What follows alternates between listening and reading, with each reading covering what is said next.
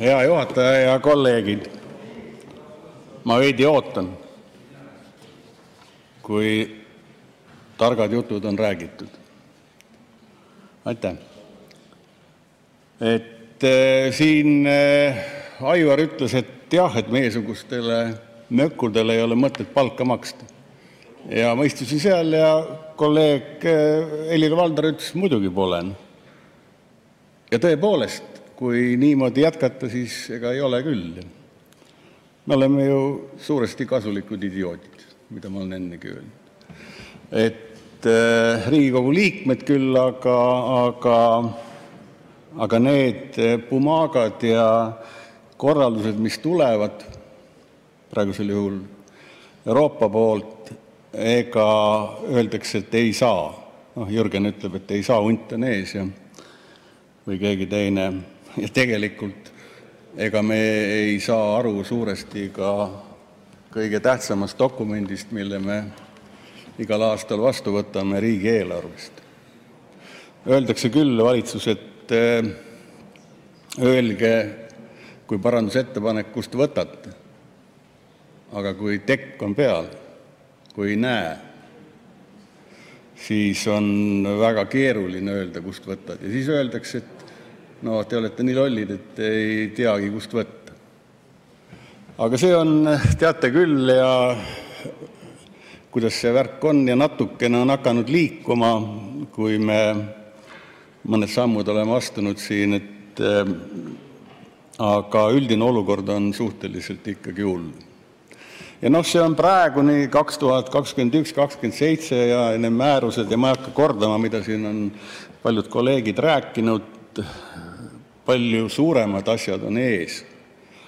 Täna hommikugi kohtusime ekspertidega nii-öelda suure rohepöörde teemadel, mis tegelikult matab meid kohe-kohe, ja kõik ministeeriumid ja kõik eluvaldkonnad. Me rääkisime täna hommikul elektrist rääkisime taastuvenergiast ja kõigest sellest ja Brüsselis toimuvatest läbirääkimistest.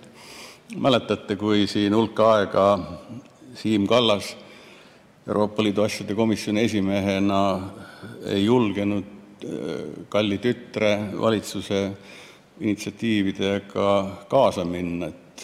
Ta sai aru vana Brüsseli hundina, et iga asi läheb maksma, kui panna lubadused lukku panna. Aga lõpuks ikkagi saadeti minema, et meie tublid diplomaadid saaksid läbi rääkida.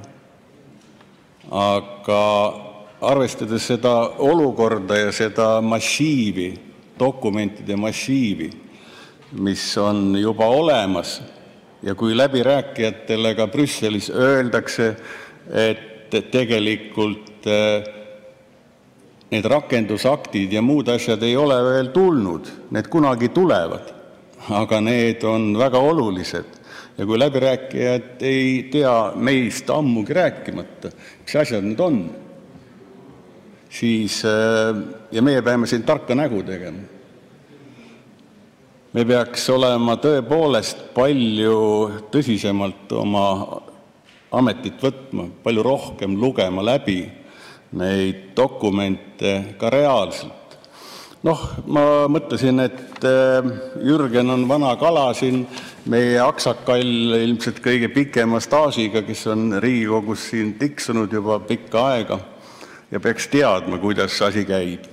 Ja kui ma küsin talt ühe tagasihoidliku küsimuse, noh, sellesama selle tagasihoidlik dokument, aga seal on palju asju, mida tuleb reguleerida. Ma küsisin varjupaiga ja rände ja integratsioonifondi puhul. Noh, eelmisel aastal oli seal kaheksa vooru. Noh, videod saabujatele kolmandast riikidest, tööklubid, käsitööringid. Jah, vabandust, et ma ütlesin, et nigeerlased või, ukrainlased, aga miks ka mitte, nad kuuluvadki kolmandasse maailma, kolmandatesse riikidesse. Et see ei ole oluline, aga ja ma küsisin, et ja selle rahastamine 25% meie poolt. Noh, poolteist miljonit ligi 400 000 eelmisel aastal. ja, ja minu tagasiside oli, oi ilus kelluke. Peeter, kas on vaja lisaaega? jah, paluks küll Kolm minutit lisaaega. et ma küsisin Jürgenilt, et eh, kuidas siis hakatakse reguleerima. üks väikene asi, neid eh, punkte on seal palju rohkem, ei hakka siin ajapuudusel nimetama, võite lugeda siitsamast. aga hea kolleeg ei osanud midagi öelda, ei arutatud. ei arutatud küll, ma saan aru, aga oleks võinud ikkagi teada, mida seal reguleeritakse selle elluviimisel. väikene detail, aga detailis avaneb tegelik, tegelikult kogu pilt. Noh, ja rääkida seda, et äh, nii-öelda turutõrke piirkondades, ma tulen selle neljanda parandusettepaneku juurde, kui ma õigesti mäletan, mida ei saa nagu rakendada ja on ettepanek ta prügikasti saata, et äh, paljudes kohtades ei ole elu nii nagu Tallinna kuldses ringis või Tartu ümber. aga noh, ei saa. Nii et äh, ilus kolmapäeva õhtu. eriti hea tunne ei ole, kui, kuulata kolleeg Helir-Valdori juttu, et ei ole mõtet palkagi maksta, et mõttetud mehed oleme siin, aga, samas rõõmsameelsed. aga ma arvan, niimoodi edasi minna eriti tark ei ole. aitäh! Aitäh!